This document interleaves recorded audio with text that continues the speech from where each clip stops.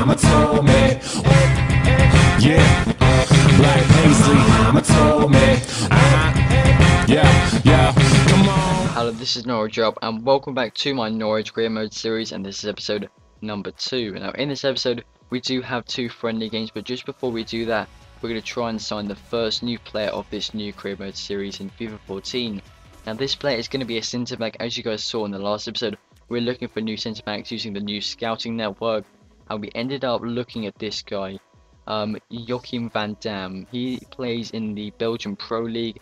He's worth 525k, but we go ahead and offer 500k. As you guys saw in the last episode, he's got some pretty good stats for a 22 year old.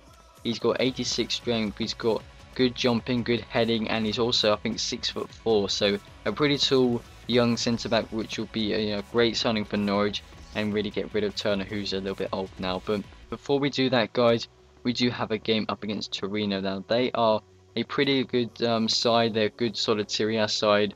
A lot of S's there, but yeah, they're going to be a pretty tough opponent. I do have a question for you guys. How hard do you think career mode is compared to 13? I'm playing this on world class, and I actually think it's a little bit easier than 13. And I just kind of think that the way the game is now, like the slower build-up play, is just easier to defend. That's just my opinion, but if you guys have any different opinions on that, make sure you leave a comment down below. But this game wasn't the most exciting. I really couldn't break this guy down, or the computer down, to be honest. He really couldn't break me down. We ended up just crossing the ball, and I managed to clear that one quite easily. And we go on for a little counter-attack here. Van Wolfswinkel plays it into Gary Hooper. We go ahead and play that into Bradley Johnson. We tried the over the top ball that was supposed to go to the guy furthest, you know, down the pitch. You guys saw who I was looking at. Um, but in the end, they go ahead and cross the ball after that. And that actually could have gone in, but a great little flick header.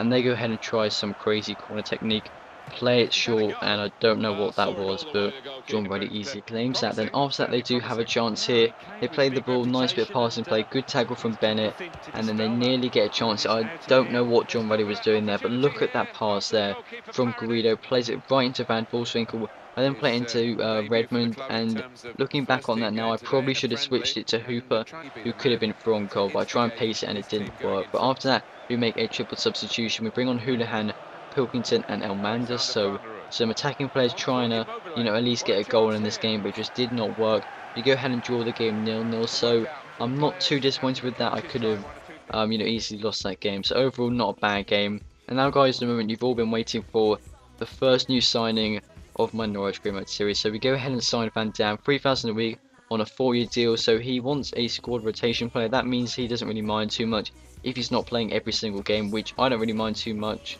And then we have a look at his rating. He's a 63 rated centre back, only 22.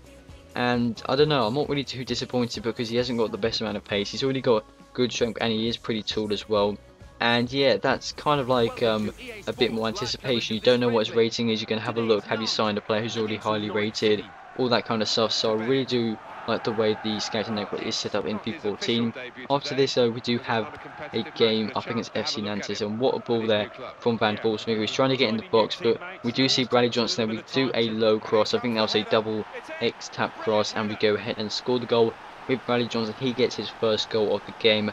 Really, really good play. A nice pass from Van Wolfswinkel starting off, and just a good play from uh, Whittaker and the whole team basically to make that 1-0 to me and after they do have a chance here, and just look at this, guys. How did that guy keep that one? I have no idea. They go ahead and cross the ball, but nothing came of that. And then after that, guys, they start off a counter-attack in the 82nd minute.